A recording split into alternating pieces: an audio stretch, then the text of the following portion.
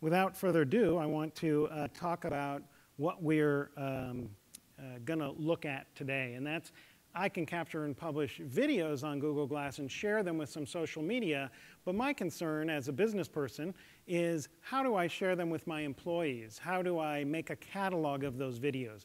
How do I, in the future, if my employees and partners have a device like Glass, Glass itself, or other devices, how do I get them to uh, create dynamic multimedia video content on the fly with no hardly any training at all and share it up and publish it to a server. My goal in my work is to make sharing video content as easy as sending an email. So I should be able to, instead of writing out an email um, or talking to one person on the phone or even 10 people in a single conference call, I should be able to go to my factory floor and diagnose a problem with the line and send that video up. I should be able to, if I was a veterinarian, um, train my employees on how to properly care for the animals and so forth. So that's what we're going to uh, do a use case right now. And it's a little forward thinking because not many of us have glass, but hopefully it's coming soon. And I wanted to give you some of the concepts of um, uh, how video is changing. In my view, video is not doesn't always have to be hyper produced with expensive cameras. I got two of them here looking at me. Uh, you can just do point of view um, information. So I'm uh, Scott Lawrence Lawson. I use my middle name because there's Scott Lawsons all over the place, so that distinguishes me on the internet. I'm the director of IT architecture at QAD. QAD is a software company. We're about 35 years old. We make ERP, or Enterprise Resource Planning software, and supply chain software for manufacturers boring. Okay, so basically some of our customers are like Avon, the people who make shifters that go in Fords, uh, medical device suppliers, uh, people who make jewelry, people who make food. My favorite one of our customers is Foster's uh, beer in Australia. So that's a fun one when we get samples. And here's uh, how to find me over here on Google+, Twitter, and LinkedIn. So what we're going to cover today is we're going to look at a little bit of trends of con consumer tech and wearable technology, look at video growth and, and um, just see what that really means. I'm going to share an interesting uh, bit of research uh, about mobile timeline, looking into the future of mobile, and then we'll get down to the nitty gritty and look at the capabilities of Google Glass, look at some specs, uh, and look at the tools used and the workflow that I've used in um, uh, setting this scenario up. And then we'll look at the technical setup of those tools. If you really wanted to do this yourself, uh, I've lined it out in the slides for you. And um, look at the best practices for capturing this kind of content and kind of discuss some use cases and then Q&A at the end. So um, hopefully we'll fit that all in. Now, consumer tech in the enterprise is no big surprise. It started a really long time ago with PCs. We might think PCs are not consumer tech anymore, but at one time, I'm old enough to, to remember that they were. In the 90s, uh, they came in with the spreadsheets, and we had Lotus 123 and, and uh, specialized programs to uh, design flyers or, or make uh, brochures or whatever, and those were all run on PCs. And I can remember very clearly working for a huge company that mainframe was of the day, green screen was of the day. They're very suspicious of these crazy PCs which will compromise our security, and they're not going to be good for anything. Um, but uh, obviously, we know how that turned out. Another little bit, thumb drives, right? Uh, anybody have a thumb drive here? Probably everybody, right? you can go into anywhere, plug it in any computer, and take all the data you want. And at one point, everybody was freaking out about it, and some very big companies might disallow them, but pretty much we don't worry about them anymore. Another piece of consumer tech are uh, printers, right? You had the administrative assistant who had to do the, the specialized calendars, or maybe you have the marketing people and they needed a special color printer and they didn't want to connect to the big uh, old Xerox printer that was, you know, uh, poor quality down the hall or whatever. They would bring personal printers into the office and connect them up. I remember one of my jobs was going around and trying to hook them up and download printer drivers, making sure they worked with all of the uh, corporate PCs. The Macintosh is another example of consumer tech in the enterprise. games. We know about the gamification of uh, uh, the corporate life. You know, you're going to take a class or whatever, and they make things into various games. Well, those obviously came from consumer tech. Mobile phones and smartphones. Um, many of you probably got into business, and maybe you didn't even have a mobile phone, but when you got one, what, what was on it? Uh, pretty much nothing. There was maybe texting, you could make a phone call, and maybe you could play one of those games, uh, you know, or something like that. And it really didn't do very much. And you had to think about, well, that doesn't do much, but it was useful in some sort of way. And I relate glass to that. A lot of people ask me, how do you like it? How's it work? And I'm like, well, you got to get used to it. It's a different paradigm, just like a mobile phone and a smartphone is a different paradigm. Um, another kind of consumer tech in the enterprise is web applications. So a lot of people you might use Dropbox. They're like, oh, I just put my files up there. Uh, WebEx was another uh, perfect example. WebEx was not a corporate tool. It was a, a, sort of guerrilla tool that came in, you know, goddamn IT people that can't get anything straight, we'll just use WebEx. And, you know, they made sales and uh, it worked for business and it's here to stay and now it's a huge company. So a lot of web applications are, are like that. And then, of course, why not Google Glass? And it's my view that Google Glass and things like it uh, will wearable computers or wearable devices will make their way into the enterprise. And it uh, behooves us today to take a look at them and understand how we can apply that technology. Even though at first it seems like kind of a gadget. Hey i can get the weather you know big deal uh, I can get that on my phone too, but we have to think about it. And we'll show some use cases for wearable technology. And you can see these pictures of wearable technology from many ages. And you might go, well, those aren't technology, those are tools. Well, what's the difference? A tape measure extended mankind's reach from three feet. We used to measure things by our arms and yards and from the nose and your thumb was an inch and all that kind of stuff, depending on how big you were, to a real tape measure. And people wear them today, uh, every day for their job. Sony Walkman is another example of wearable technology. It was revolutionary in, the, in, the, in its day. The wristwatch or the pocket watch is one of the oldest wearable technologies. Hearing aids and even um, things to see in the dark. And, you know, I have a uh, holstered gun here. This is wearable technology uh, whatever you feel about it, in some day and age, it extended a person's reach into the community to do something you couldn't do, to assist you.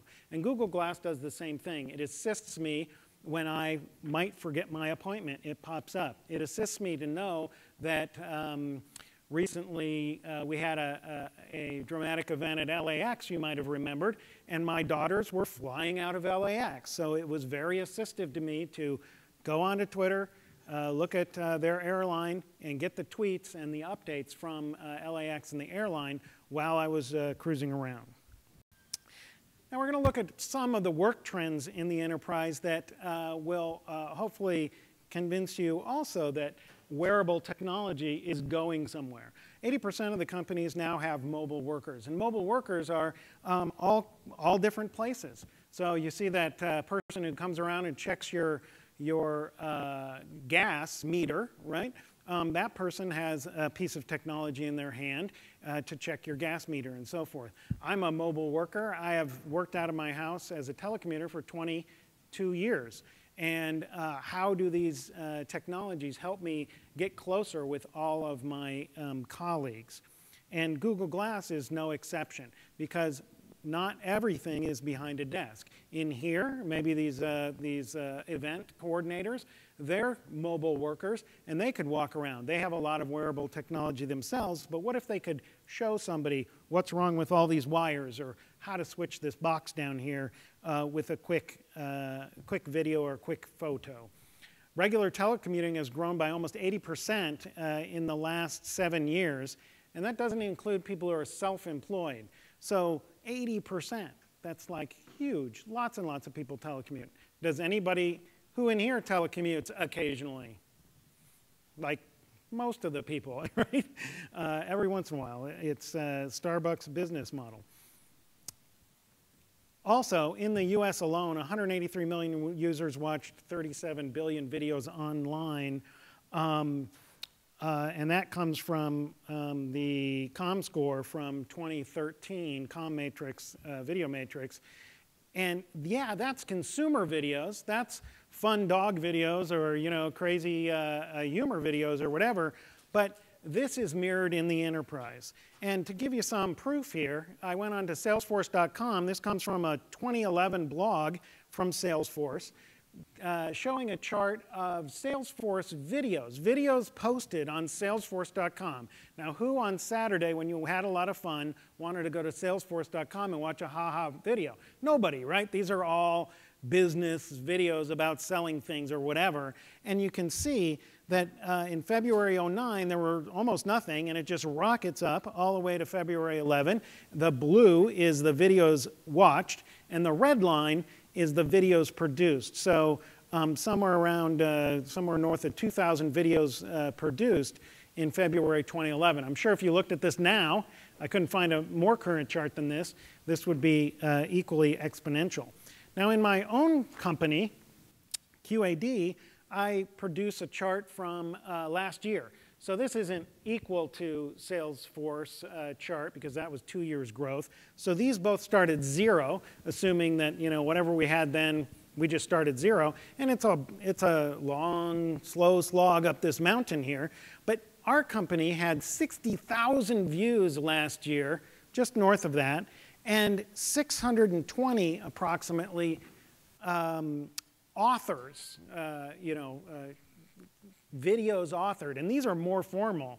Now you might think, oh wow, you have a big company. Our company is less than 1,500 people, and probably, well, as you can see, 620, that's uh, not very many, not a big percentage. So um, we've been doing uh, online video internal uh, for quite a long time, and most of these are kind of short videos. But I can see if I could enable other people to make videos quicker, because here you have to go to your computer, you have to run a software, you blah, blah, blah. You can't take the camera out, it costs money. We only have three recorders. Two of them are fixed. One of them is mobile, but mobile is like this friggin' big, and you gotta lug it around. Um, uh, you know, uh, if we could um, uh, produce these videos, um, I think that it could be a real boon to our uh, company. If you want to come in and sit down, that's uh, feel free. Now, here's an interesting quote from our friends at Streaming Media Magazine. Thought I'd give a plug to the, uh, to the folks who put on this fine conference. And this is James Careless in the State of Enterprise Video 2013. This is in the, I think, the March, uh, February issue, February, March issue, quoting David Boyle, Director of Digital Media at Oracle. And you can read that. I'm not going to read it to you, but the, the key points is video is the ideal form of communication. He's talking about enterprise video. And the ease of doing that means that enterprise video is the preferred option. So he's saying this now. So to me, if you can get some technology, whether it's Google Glass or it's small cameras or whatever, that you can uh, distribute to your employees and they can easily make video and have that auto-magically published, we don't have to have the magic video people in the background pulling the strings or whatever. If they can put it up on the server and send it out to people, this, I think, can increase productivity uh, because that's how people understand the world now. They understand it as video. We, uh, Vine has taught us that, Twitter videos have taught us that. Um, is that, you know, people don't read. I mean, that is about as much as I want to read myself uh, for work. So now, the last little bit I'll, I'll talk about is this mobile timeline. And I'm not going to go through every single little dot here, but uh, what this shows us, there's going to be three slides here starting in 2012, and it shows that Google demos Project Glass. So in 2012, we got uh, Google Glass, and uh, it's been building in uh, uh, 2013. And right about 2013, another mobile technology, uh, innovative technology is Microsoft Kinects, you know, that uh, movement kind of thing, where in the enterprise, people are using these tools. It moves um, up to 2014. We think Google Glass will be available to the public in 2014. And almost everyone uh, will have a smartphone. In fact, in Africa, they've skipped the whole phone in your house phase that we had. They just went from nothing to phones. And now smartphones uh, are becoming ubiquitous. We move a little forward, we get wearable technology, whether it's the Fitbit or the wristband or the whatever, Um, and it becomes from a hobby, from geeky uh, people like myself, to somebody saying, oh yeah, I, I think I'll, I'll, wear that, just like the wristwatch, right? Um, video conferencing, uh, maybe a year after, uh, they predict, Infotech predicts that will become just like in-person meetings and affordable to everybody. You know, Cisco Telepresence says that today, but you have to have a billion dollars to implement it and a couple hundred people to keep it going. Um, give it a couple years, everything shrinks and, and uh, gets better. They predict in 2017 that printing and 2D kind of uh, information will become a thing of the past because screens are all around us. This is a screen in my eyeball right? Uh, I can see it. And um, screens and uh, smart walls and uh, wrappable displays will become more and more prevalent. Go a little bit further, and they talk about follow me storage. You know, right now, my Google Glass follows me around. It goes, hey, you got an appointment. Hey, you got that. What's going on? You should do that. Oh, you know what? Twitter said this. Oh, your wife's calling you, whatever. It kind of follows me around. And I can uh, take my storage with me, not as a USB drive, but um, in the cloud. And so when that actually becomes real for most people and the Internet of Things connects people together and connects things together and connects people to things like the Nest thermostat or, or whatever, um, pretty soon they, they predict that, that technology will begin to fade away as technology for average people. They call it average people. Not people who come to a conference like this and see geeky cameras in the, in the expo, but for average people, your grandmother, your uh, person down the street, whatever, your kids and, and grandkids and whatever will grow up with the stuff. They'll like, Grandpa, did they, what is that thing, you know, or that old cell phone that you have in the, in the drawer or whatever. And you'll say, well, I only could use this in California or it cost me a million dollars. Really? Wow, that's weird. Um, and, you know, here they uh, really predict out that seven or eight years from now, uh, technology will be here and it'll be you. You're the center of uh, your own universe. So I think that's interesting research. It's certainly predictive and science fiction and whatever, but uh, I think folks like us can um, certainly think about it and make it happen. So now, let's get into what is Google Glass. Well, we've seen it. We saw the little thing. If I do my head up, I'm not having a seizure. It actually turns it on and uh, I can uh, see the time and I can say things or whatever. So it's basically a little wearable computer that connects to the internet via your mobile phone. It delivers information via screen and sound. The screen looks like uh, a, um, uh, from eight feet away, it looks like a 36 inch screen, uh, pretty much like a TV to my eye. And uh, you can certainly afterwards, if you're interested, put it on and, and check it out. And it's always ready. It captures images and voice put, input and it's always ready. So this is the new paradigm that you have to think about when you get Google Glass is that it's different. A lot of people think, well, it's like the Go helmet you wear on your head or whatever. It's not really. It's supposed to be off. So most of the time it's off. And it has to be that way because the technology inside can't have a big battery. It can't be heavy because you're not going to wear something that heavy on your head and uh, carry it around. So it's something that is not for reading the internet. Like you cannot read a web page on it. You can. It does that. There is a way to read the, uh, the, the uh, web page on there, but it's not very good. It's, you can't type on it. You have to be able to talk. So here's another paradigm shift. We have to know how to talk to computers. Anybody use uh, voice recognition technology to write emails or letters or whatever? And, you know, how is that? Does it work perfectly every time? Not quite. Not quite. I always want to, you know, send something from Glass to Twitter and say hashtag something. It doesn't understand that. Right? now, one would think it would understand that, but it still doesn't understand that. And uh, I always crack up about Google Voice, you know, that technology that listens to your voicemail and sends you an email and transcribes it. Anybody have that uh, turned on? It's pretty humorous. Uh, I have this guy who, who's a, a vendor, and he has a very thick French accent. And all of the times his messages are so funny. They're almost like, uh, you, know, those autocorrect things. But I'm like, what are you saying? You're insulting me or something. Um, so it's those kind of paradigm issues that we have to deal with, right? I mean, we might watch Star Trek and they say computer and it all works or whatever, but uh, we have to get used to it. So Google Glass is just that. Here's the technical spec. These up, but I thought I'd screen and uh, make one point, and that is, this is not a super powerful computer. It's only got 682 megabytes of RAM. Now, you know, you might think that's amazing if you're an old guy like me, but you know, your phone has more than that. Uh, you can pack a lot more stuff in here. It's a five megapixel camera, lame So if you're trying to compare Google Glass to a mobile phone, uh, it doesn't really compare, but it's not supposed to. It's another device. It's a different kind of device that is paired with your phone. Maybe one day they'll put everything in the glass that, that is on your phone, but I doubt it. I mean, there's no keyboard here, and you know, uh, eventually, or sometimes you need a keyboard. Some of the cool things that it has, and I'll show you this uh, as uh, sort of a, a, demo.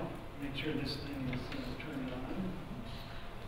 This is the wrong button here. Um, is the accelerometer is kind of cool. And this is an Easter egg.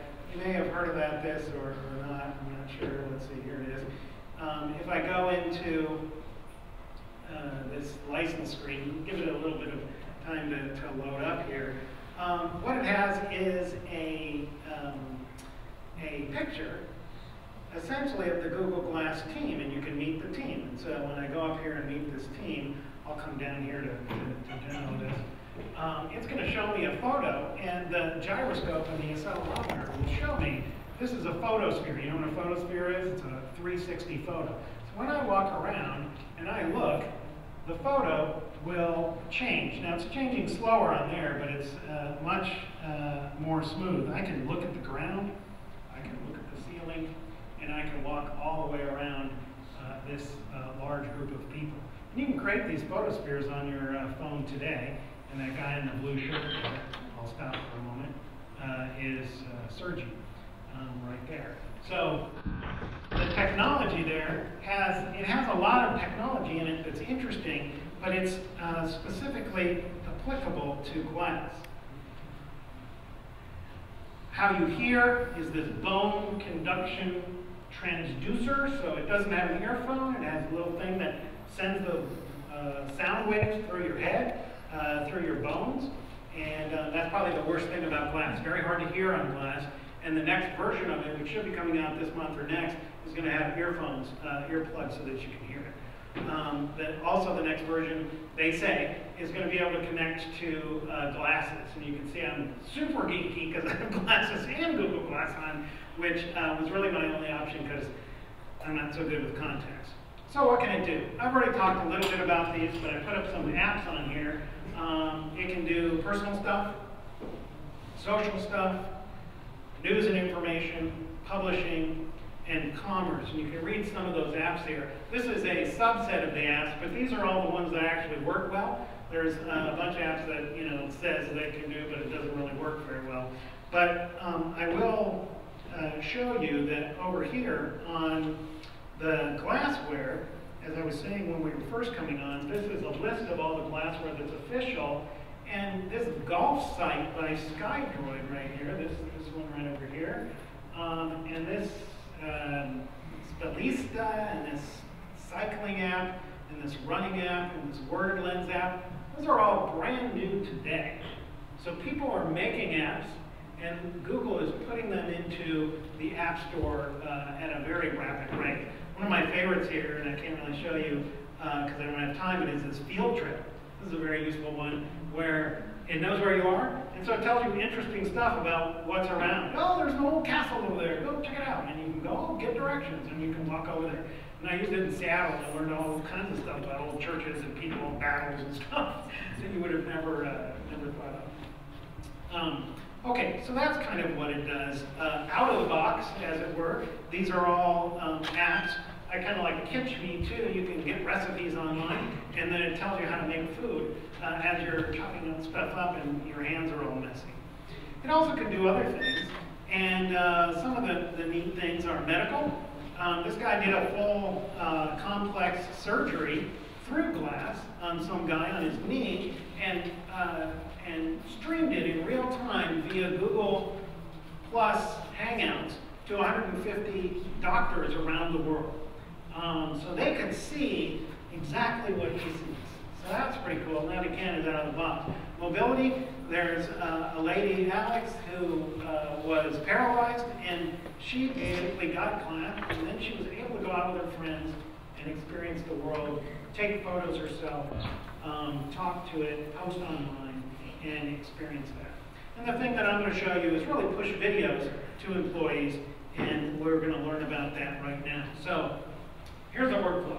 Capture the video and audio in Glass, send it to this thing called full screen beam, which you heard me uh, talk about uh, or say when uh, I started. What that thing does is it pushes your video to YouTube. And YouTube processes and publishes the video, and it can be any YouTube account. Um, the M thing there is from Miro. It's an open source RSS video reader. I have that running on an FTP server, and it basically pulls YouTube goes looks for new videos on me and downloads them from video automatically, like whenever I want. And then it stores them there. And then at our work, we use MediaSite, which is a, a video cataloging tool, which publishes it to employees. And MediaSite allows me to wrap security and metadata and tags and a catalog uh, around that. And, you know, most of these are modular. And we just found out that uh, if this, then that, has a, has a glassware, so maybe full screen beam is an optional component. Maybe you don't have to push it to YouTube. Maybe you can send it right to FTP. Um, uh, whatever. So this is just what uh, we'll, we'll show you. And so here's the tools uh, that I just talked about. But I did other considerations. If this then that is a nice tool. Uh, we also use Camtasia Relay, which is a video uh, conversion uh, tool. Or you can write your own glassware, is what they call software for Glass because most of this stuff is open APIs. YouTube is, is a good one because that's how I use it. I go and use the YouTube API just to go get the video. And I didn't have to program it because Miro does the magic for me. But you could program it if you wanted to. Okay, so the capture workflow, you kind of saw what I did there. You first take the video in Glass and then you uh, press the button to record longer for 10 seconds. So by default, the Glass only records a 10 second video. So um, there's a little bit of uh, uh, fussing around with it, uh, with that. So you, you have to touch it. So um, paralyzed person couldn't uh, record longer than 10 seconds. You shoot the video record audio. It has very good audio. You uh, tap it twice to stop. You share it with, and the menu shows up and then it sends it to YouTube. Now, here's the part that takes a little bit of time. I did two videos this morning, uh, earlier before lunch, one from the expo and one from outside, and did this. And I'm hoping they would show up, but I haven't seen them yet. So I don't know if it's the network or if it's YouTube or whatever. So uh, a direct route would be definitely preferable if you were going to, uh, you know, immediacy was the was the um, ticket. Um, and then once it's sucked out of YouTube by Miro, um, it downloads that MP4 to the FTP file, and then MediaSite has a feature that it just pulls FTP every 15 minutes and um, so forth. And the last step is the human step is in MediaSite. And this is just an aspect that you could probably solve with some programming. Um, it gives you this big, the FTP machine name of your darn video. Because if you notice, I had no way to really title it, right? I have no typing. But um, MediaSite as a tool makes that easy, and I'm, i suspect other tools would make it easy as well. Um, and that can be farmed out to the individual it's, uh, themselves.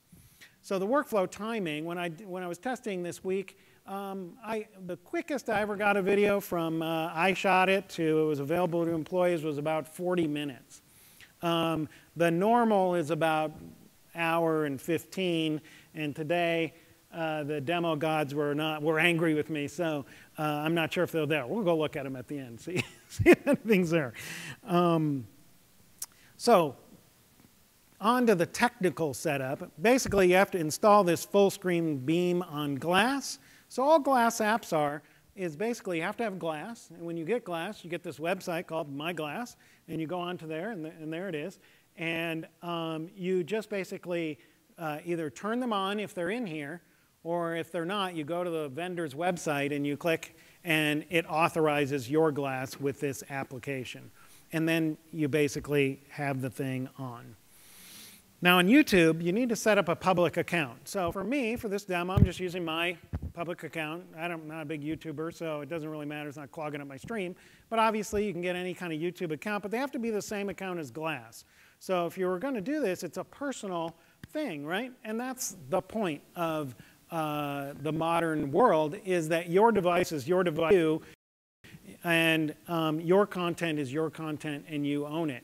When you take a video with a video camera, it's like, uh, okay, I'm taking your video, and I'm the cameraman or whatever, but who, who owns that?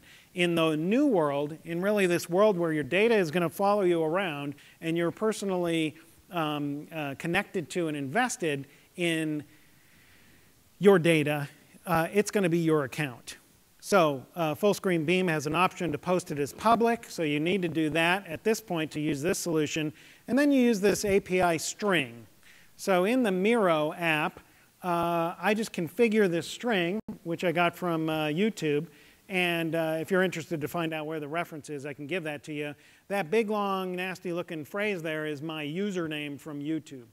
And you can get your username from YouTube um, uh, right over here, when you go to your uh, settings and uh, you go to advanced over here. So this is your YouTube user ID. You can use your full name and so forth, but it's not quite as accurate and so forth. You also have a channel ID, so you could use this to get all of the YouTube channels. Or technically, you could use this to get somebody else's videos. So that name there doesn't have to be me, that user slash is me. You could say users slash um, the onion or whatever and go get those videos if you wanted to pull those into your corporate uh, uh, type. And then Miro happens to want an uh, RSS feed, so that's that last parameter is the feed type. Okay, and uh, let's see. In Miro, um, this is the open source tool. And after this after I give this talk uh, on my blog, I'm going to post these slides and I'll post some other uh, links and information as well. Um, and you can uh, go and get that information there. But basically, you need to set up the source. That's what that YouTube API is. Then you have to set it to a folder, Miro to a folder to say, go to this folder. When you pull this stuff off of uh, YouTube, pull it into a folder and um, download anything. So whenever I do a video, I don't have to go back here and do anything. It just says, okay, I'm going to auto download new. There's a little teeny blue button at the very bottom that, that tells me that. And then um, basically you choose some uh, uh, podcast settings um, so that it doesn't delete them or it doesn't get rid of them before MediaSite can get to them. So that's that timing piece. And then uh, in MediaSite, the last piece is that you say, if you were using MediaSite, you say, look at that same folder and go get anything that's new in there. Import that job and import it into a specific template and a player and make all that stuff available as a folder. So MediaSite does that magic on the back end and so forth. And you know, again, it's not commercial for them. That's just what we use at uh, our uh, our work. So um, let's go back over there. Let's see kind of what that looks like. Let's see if I've got anything. If I go over to my YouTube um, and uh, go back here, look at my channel. The last channel I did, yeah, was this morning, so that's just a bummer.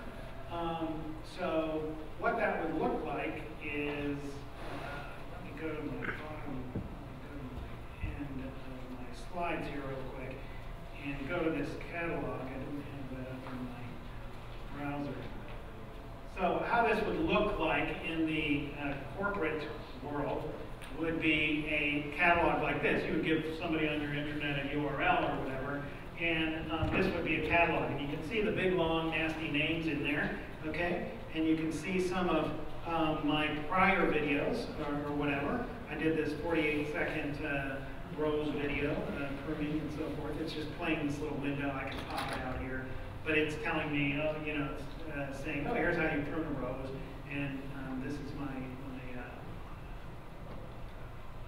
say my perspective there. This morning I did one before I drove up here. Let's pop this thing up. Um, I guess you can't hear this, and that's okay.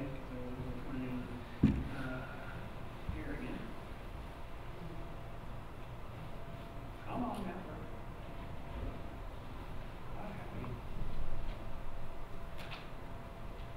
Oh, here we go a tankless water heater, so I was pretending I was a plumber and um, I'm talking about, hey, here's how you install the tankless water heater. And this is my view, essentially. So I'm going down here and, and I have audio with this and I'm talking about these you know, fittings and so forth. And you can imagine that, you know, depending on your business or whatever you're doing, you can just say, um, you know, hey, go up here, look in here. You can, you know, you can't zoom in, right? you move your head to zoom in. Um, and I'm telling them this is the gas thing, and you can see my little area on there, and uh, these are the flush valves, and blah, blah, blah. And so I'm talking about this, and it's a, uh, you know, a minute 17 or whatever, and then that's on your corporate uh, library. And depending on how you set this up, um, you can uh, have that um, go to a particular folder or not. So I can go and, um, uh, I think I can go and edit this real quick. This is uh, part of the uh, part of the MediaSite suite of uh, features. And as an employee, if I did this, I could change this name to uh, tankless water heater setup or something like that, and then just save that. So then that'll look better in my uh, catalog. Okay, so let's uh, pop back to the slide. And that's really the whole the whole deal. Again, um, to go back to uh, my diagram here. Basically, capture video, send to YouTube, suck it out of YouTube, put it on FTP, have MediaSite suck it up into uh, its system. Now, there's some best practices though with video, and that is when you're taking a video, you need to explain it to people how to use it, and if you're taking a video of people, because there's a lot of suspicion around glass. I've um, only been in public once where one person was really suspicious about it, and I was asking the people around, oh, can I take your picture? And he was like, no. Most people are kind of intrigued by it, and it's cool. But you do have to be nice about it if you get one. Um, it sees things from your point of view, not the camera's point of view. It sees things from your point of view. So when I take a picture, it sees the whole room. I can't zoom in on this gentleman in the front row. I can't, I can't zoom in on that. I'd have to walk to him and see it. And you might have seen when I took the picture, it lit up. My, my uh, screen lights up. So it's not a it's not a secretive device, but it sees things from your point of view. If you're going to take a video, keep it short, under three minutes, I suggest. Um, glass does heat up a little bit, taking all that video and maybe they'll fix that in the future, but uh, it also burns up your battery. So you can only really record uh, 45 minutes of uh, video if you're doing a lot of video.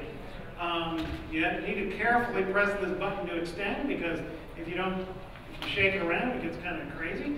Um, and you have to do it all in one take. And this is one of the things that I always uh, run up against in employees uh, even without Glass, is they'll like sit down and do a presentation and they want to edit it afterwards for nine hours. And I'm like, no, you're on television.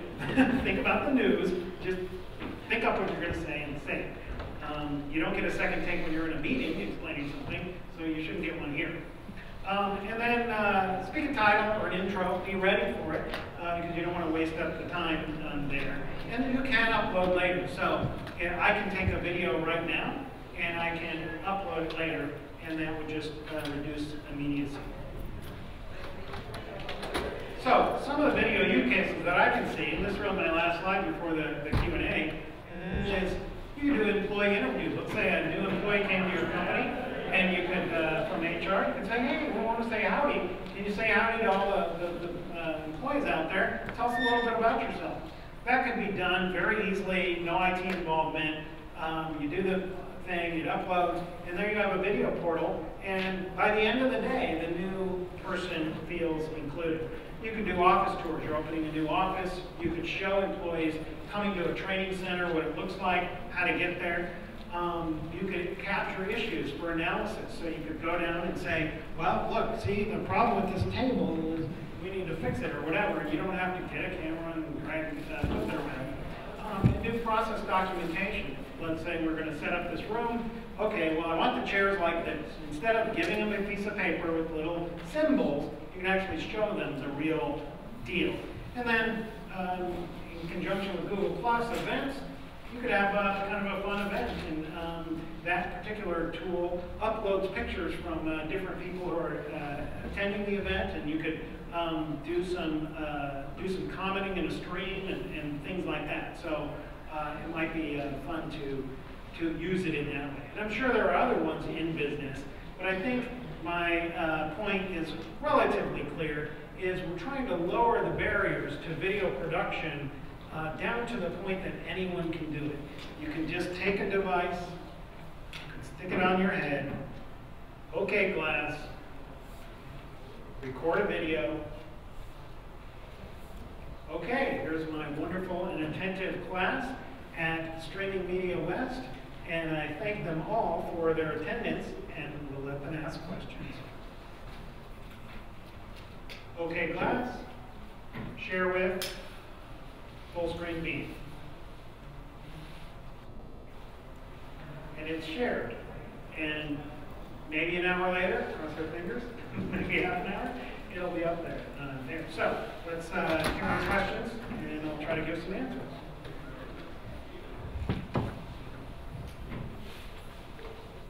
No questions. I stunned you. cool. Uh, very good. And if you want to come up and ask uh, individual questions, that's fine, or play with it. Uh, I'm happy to, to let you do that. And uh, have a great rest of your afternoon.